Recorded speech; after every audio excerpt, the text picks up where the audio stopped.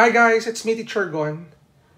In our today's video, we will talk about multiplying and dividing radicals with different order or index. So before we start, I would like to recommend that you need you watch our video regarding simplifying radicals, adding, subtracting, multiplying, and dividing radicals in our description box.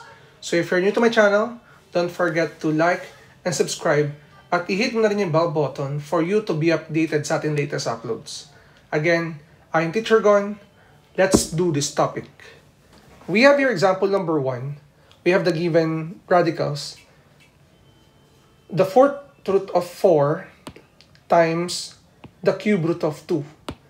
Basically, guys, if you're multiplying radicals, for you to multiply them, kailangan parehas sila ng index or sila ng order. Okay? They have the same order or they have the same index.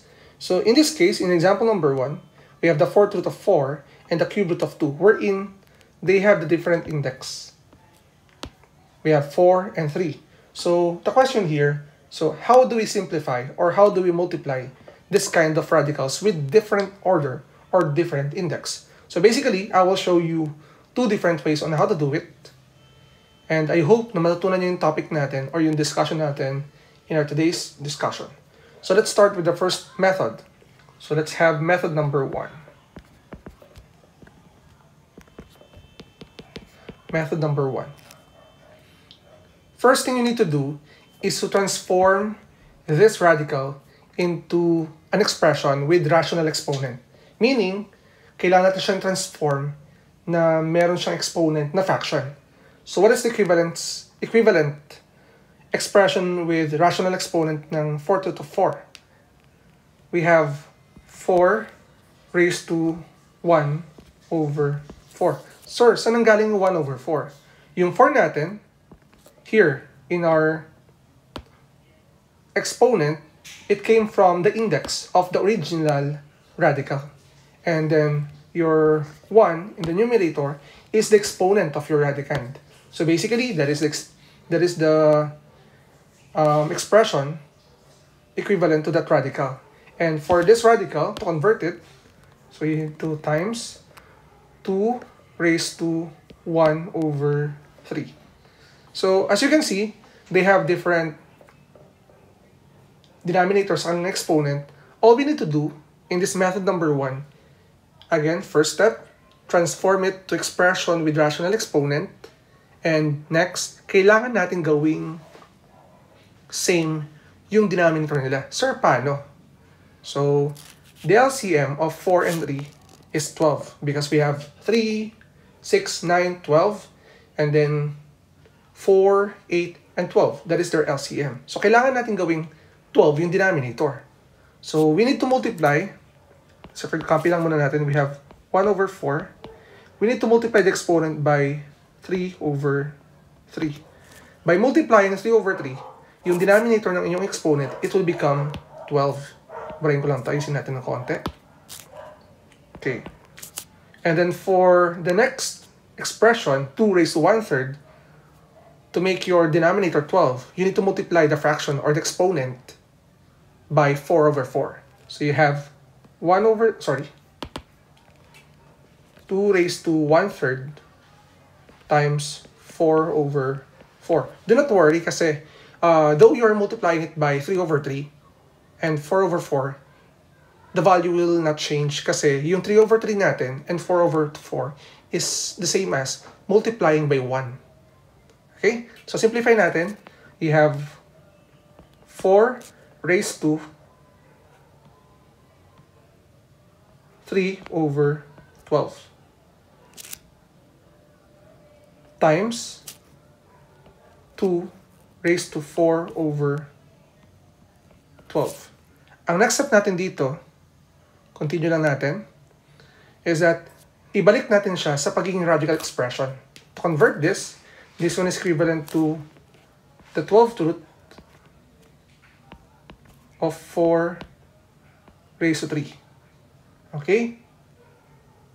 And then this one, we have times the 12 root of 2 raised to 4. And as you can see, we can simplify them or we can multiply them because we have the same order or the same index right now. So basically, gagawin natin dito, you have the 12 root of 4 raised to 3 times 2 raised to 4. Pwede natin simplify yung 4 raised to 3 sa 2 raised to 4. Pwede rin naman natin siyang gawing exponential. So, simplify muna natin ang 4 raised to 3. That is equivalent to 64 times 16. Tama? Kasi 4 times 4 is 8. As a 4 times 4, 16. Times 4, that will give you 64. And then the 2 raised to 4 natin is 2 times 2 times 2. That is 8 times 2. That will give you 16. And 64 times 16, that will give you, like this one, this number we have 6 times 4. This is 4, 24, 36, 38. And 1 times 4, that is 4, 1 times 6, 6. Adding them together, we have 4, 2, 1, 1024. So, buburay natin to.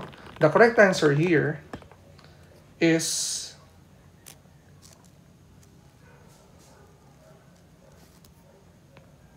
sorry.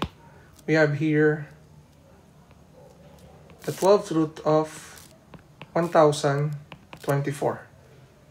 Tama ba tayo? Okay. 1024. The 12th root of 1024. Okay. So let us start with the second method on how to do it. Try natin ha. Create tayo ng lines. So we have method number 2. For method number 2, ito naman medyo maiksi lang siya, but same concept lang naman siya. So basically, we have the given, the fourth root of 4 times the cube root of 2. So you need to observe your index, which is 4 and 3. And then, isipin mo lang, what is the LCM of 4 and 3? Sabi ko kanina, 12. You need to multiply this index by the number na kaya siyang maging 12. So, for the fourth root of 4, ang gagawin natin dito, yung 4 natin na index ay simumultiply natin by 3. And then, itong 4 na to, yung radicand natin, yung exponent niya is 1, originally, imumultiply natin by 3 para maging equal. Times, this one is the cube root of 2, which is, we need to multiply the, the index of 3 by 4 to make it 12. And then same din sa exponent ng iyong radicand na kailangan mo multiply by 4. So, simplifying those factors, it will give you the 12th root of 4 raised to 3 times the 12th root of 2 raised to 4. In which, etong expression na to ay makikita nyo rito. Pareha sila, di ba? So, yun yung method number 2 natin. And simplifying it, it will give you the 12th root of 4 or 64. 64 na lang natin gawin natin 64 times 16 and the final answer is the same 12 root of 1024. Okay? Pareha sila. Ang method number 1 natin. Now, for item number 2, I'm giving you an example for dividing radicals. Wherein we have, we have here the cube root of 3 over the square root of 3. So, kung mapansin nyo, the index are different. One is, one has the index of 2 and one has the index of 3 wherein kailangan natin silang gawing 6. Tandaan, kailangan natin silang gawing 6. So basically guys, pwede nyo gawin yung method number 2 natin kanina. Tama, di ba? Method number 2. Wherein, ang gagawin natin, yung cube root ng 3 natin, i-multiply natin by 2, yung index niya, para maging 6. Ito naman yung radicand natin with exponent of 1, i-multiply natin by 2 over for the denominator, ang index niya na invisible 2, i-multiply lang natin by 3. Same with the exponent of your radicand, kailangan natin siya i-multiply by 3. So as you can see, Pag sinimplify natin to, it will give you the sixth root of 3 squared over the sixth root of 3 cubed. Wherein, mapansin nyo, hindi pa natin pwede itong i-accept as final answer because your denominator has the radical sign.